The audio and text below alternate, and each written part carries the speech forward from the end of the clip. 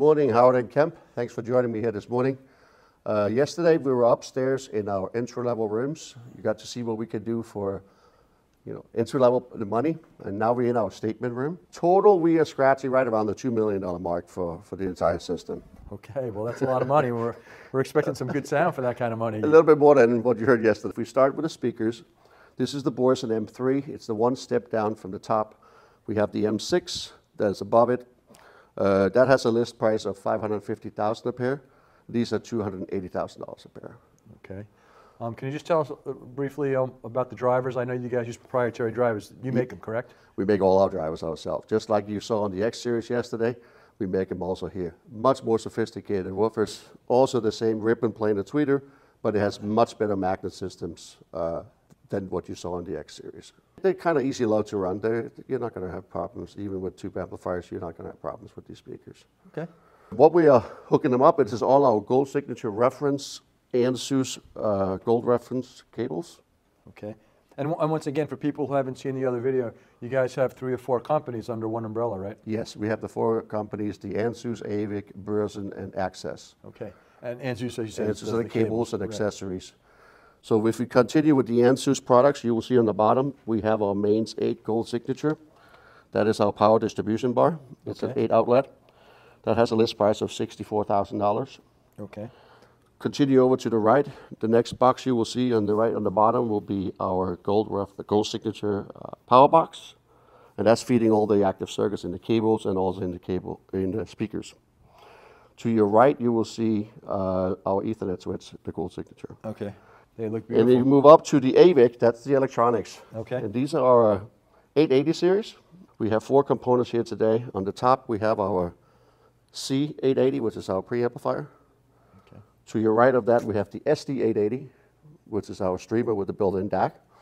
And then on the, the middle shelf, we have two stereo amps, the P880s, and, And- because we're bi-amping the M3s. And as far as the amplifiers, uh, can you tell us a little bit about those? Yeah, they're pure class A, but they're non-switching. And we have 250 watts at 8 ohm, 500 into 4, 900 and some into 2, and it's stable down to 1 ohm. So they stay in class A all the way and Okay. don't run hot. How do you do that?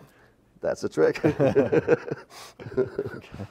Um, typically, for, the, for Class A, for that kind of power, you're going to be frying eggs. What about the racks here? the racks are the Ansuz racks. Um, we also make those. It's all about performance in here. So it's titanium legs. Each shelf is a composite material. They sit on four of our Darkz uh, resonator uh, controllers, and uh, each one of those are like 1500. So you have six grand between the shelf and the frame on each shelf. Okay. So, so this is probably uh, close to a forty thousand dollar rack. And it's side. modular. Right? It's modular, yeah, yeah. So I, I noticed on top of the um, of the streamer and the um, preamplifier, there's a kind of look. I thought it was a handle at first. It's called a resonator. So what it deals with is the mechanical resonance that the chassis will make, Okay. and it pretty much eliminates it. It's a quite dramatic improvement. So we have those even on a solidly built like this with an eight millimeter copper uh, chassis. You still have mechanical resonance that you're going to deal with. And you have there's also uh, we'll call them pucks or, or, or discs on top of some of the, the boxes on the bottom on, on the, the networking box and um, on the power distributor. What, what, what are those? Th- those are our Darkz also, and, and they do a similar uh, fashion of what the resonator does. Not to the sa- same extent, but um, where you don't have room for a resonator, you can put the, the Darkz in the corner. What are the pricing on those? On the pucks, Yeah. those are, I believe, the Z2s, and they're 4,000 each. The resonator on top is a zirconium, which is $7,500 each. Okay. If you remember, there was one evening at a, at a show or something where we Yeah.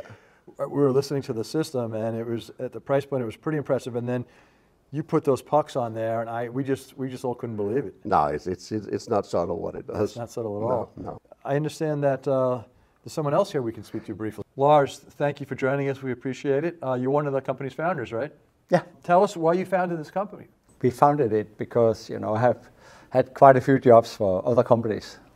Okay. So we decided, Michael and I, to leave, not us, that, uh, Michael worked there as well, and that's now more than 12 years ago. So Michael and I have actually been in the speaker industry for nearly 30 years. Okay. Before that time, I was actually a high-end audio retailer for also 20 years, and my dad was one of the first in Denmark. So Lars, what can you tell us, uh, just a few additional highlights about the system perhaps?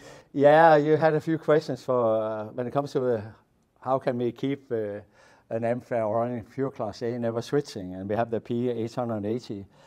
Normally you have two way of doing class A. You have the single ended, which is typical tube amps, and they're running few, a few uh, 100% uh, full current the whole time. And that's why uh, you know they stick to 20 watts or 30 watts, and that means that they, they, they can't do more than that. Then you have, of course, the other class A, which is typical what what uh, you have out there, the push pull class A, and that's typical. They're nominated for 50 watts, um, and they stay class A into 50 watts. But when you same when you have a transient, they, they are more or less all of them changing from class A to class B. When you have it a transient like this, they go into class B automatically right. because they don't have that kind of current available. But they're also running very warm. Ah, sorry, uh, hot. That's yeah, more the precise word for it. Yeah. So it's where uh, you know the group of people like. Uh, I'm a lucky person because I have some of the best uh, guys around me in form of Michael Børresen and Flemming Erik and former Gryphon, and, but also the guys on the floor are the most skilled people we can find. I, I, was very surprised, when you mentioned Flemming. I was very surprised to hear that he had, in a good way, to hear he, he had joined your team, which is pretty amazing. What, what is he contributing? Flemming is an artist. Mm-hmm. and you see on the Gryphon stuff, I, I, I think there's still some of the most beautiful stuff out there.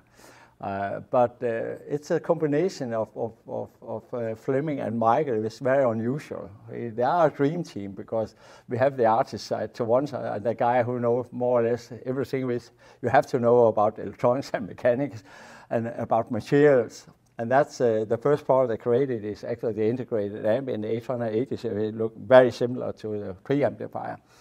Uh, so that's uh, the first part these two, these two guys did but it's typical you see uh, Flemming's lines design in it, but you also know when you see, as uh, Peter was saying, we have the copper chassis, 8, 8 millimeter, and copper sounds good.